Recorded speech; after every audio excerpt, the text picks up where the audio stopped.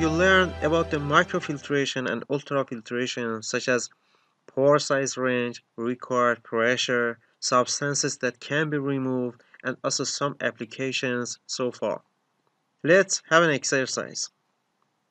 Describe the removal efficiency of the constituents using microfiltration and ultrafiltration according to the presented data in the following table.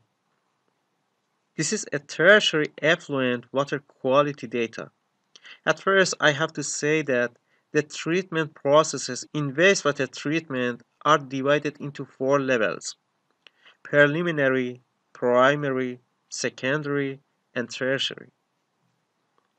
Actually, it has to be noticed that in wastewater treatment plant, membrane filtration has to be used after tertiary treatment level due to the low constituents concentration in this level for prevention of the membrane problems such as fouling and scaling.